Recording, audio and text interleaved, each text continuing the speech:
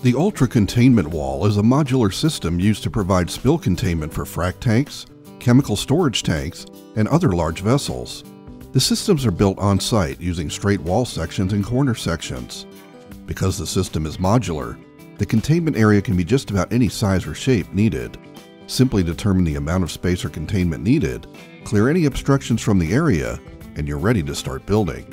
The first step in assembling an ultra containment wall system is to lay out the liner. The 30 mil textured polyethylene material is heavy duty, rugged, and built to last. With the liner unfolded and laid out to the approximate system dimensions, the straight wall sections and corners are now ready to be brought in and connected to form the structure of the system. The all polyethylene, roto-molded sections are durable enough to withstand the daily rigors commonly seen on site, but lightweight enough that they can be installed without lifting equipment. The walls and corners of the system lock together quickly and easily without the use of tools. By inserting the molded-in peg of one section into the hole of the adjoining section, the pieces are securely connected. Once three walls have been assembled, unfold the liner and lay it over the walls of the system.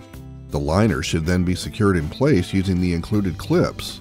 This can be done by simply pushing down firmly or with a rubber or wooden mallet. Load vehicles, equipment, or tanks into the containment area after loading the area, install the final wall and secure the liner using the included clips. If desired, the liner can be trimmed for a more finished appearance. Assembly of the Ultra Containment Wall system is now complete.